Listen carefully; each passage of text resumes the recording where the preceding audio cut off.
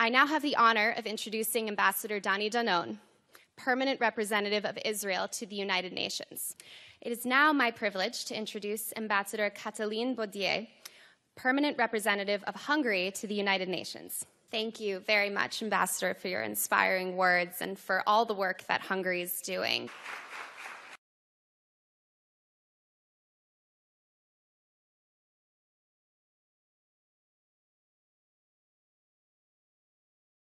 All the work that Hungary is doing. All the work that Hungary is doing.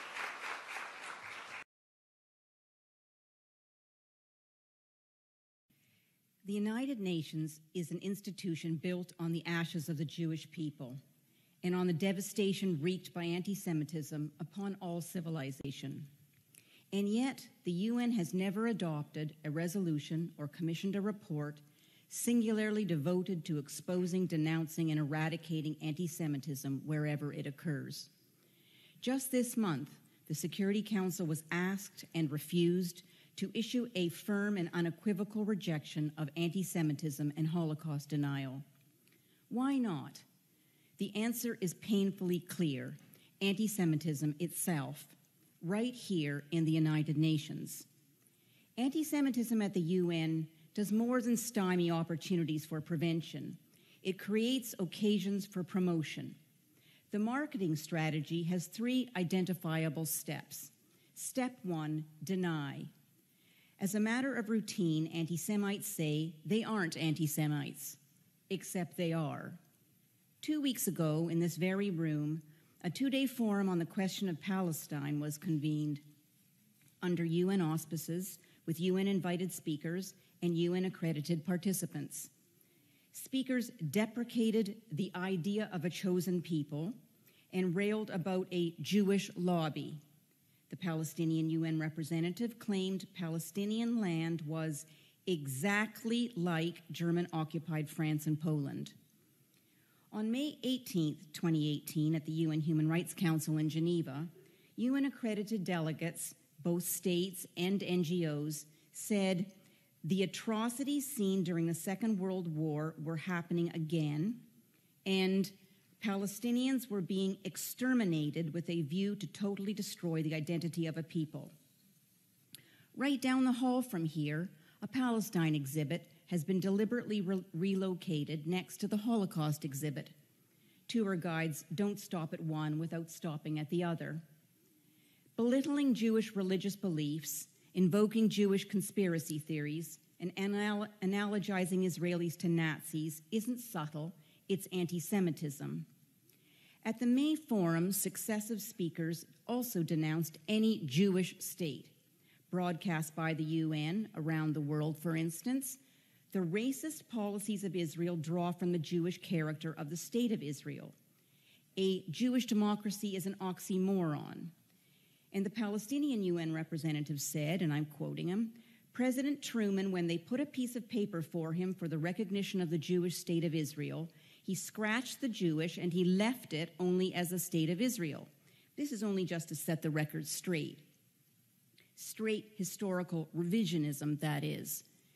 Actually, Truman crossed out the typewritten Jewish state and added with his own hand State of Israel, solely in response to learning the country's new name and ensuring the U.S. was first to recognize Israel 11 minutes after its proclamation. It isn't complicated. Self determination for everyone but the Jewish people is anti Semitism. Step two obfuscate. Religious bigots claim that the conflict with Israel is not about religious bigotry, except it is. They now say it's about 1967 borders and post 1967 settlements.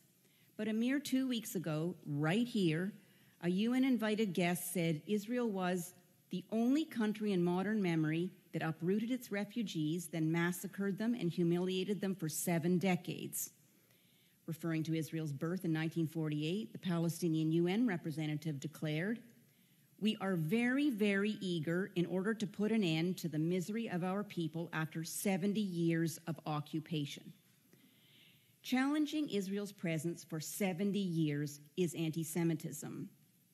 Step three attack charge Jews with participating in a cover up, and forbidding any criticism of Israel. Except they don't.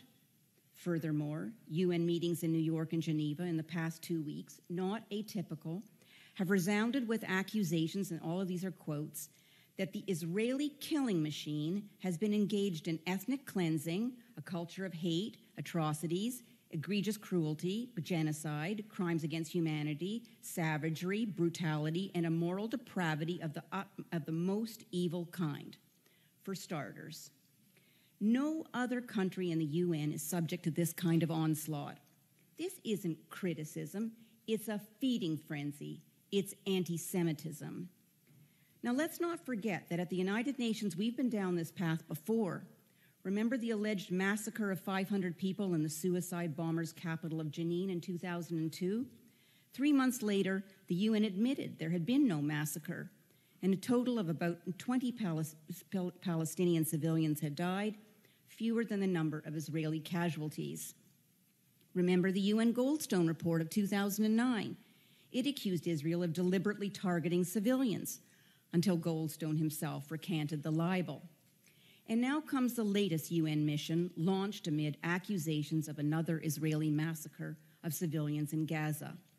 This one debunked by Hamas and Islamic Jihad themselves, who couldn't resist boasting that 85% of casualties were their own. There is a pattern here. It's called anti Semitism, or as the Queen of Hearts would describe UN inquisitions, sentence first, verdict afterwards. Beyond the UN hyperbole, straight statistics tell the same story.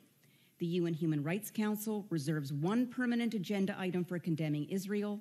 All other 192 UN states are considered together. The Council has adopted more resolutions condemning Israel than any other country on earth, and nothing on almost 90% of the world's states. There have been 10 emergency special sessions of the General Assembly, Five are on Israel alone, including the 10th, now reconvened 17 times. 500,000 dead, 7 million displaced in Syria, has never resulted in a single emergency special session. In 2017, the General Assembly adopted 21 resolutions condemning Israel and a single resolution each on a handful of other countries. The UN Commission on the Status of Women annually condemns only one country on the planet for violating women's rights, Israel for violating the rights of Palestinian women. This record of egregious discrimination is the antithesis of the UN's Charter's promise of equality for all nations, large and small. It's anti Semitism. A Palestinian illustrator recently depicted an Israeli soldier force feeding poison to a Palestinian baby after a false accusation that Israel had killed a baby girl who, in fact, died of a congenital heart defect. Controversy surrounded a photograph of Palestinian leader Abbas enjoying the publication. But at the UN, this was old news. Last November, the same illustrator was feted here at a UN event organized by a UN committee. He was introduced by the Palestinian UN representative as, and I'm quoting him, the pride of a nation for his contribution to humankind. At the time, his illustrations or contributions included a Jewish Star of David twisted to mimic Nazi barbed wire imprisoning Palestinians. In short, today's UN acts as a force multiplier for anti Semitism glorifying its proponents and providing a global platform for its advocates, to which there is no response from inside the United Nations other than for shame.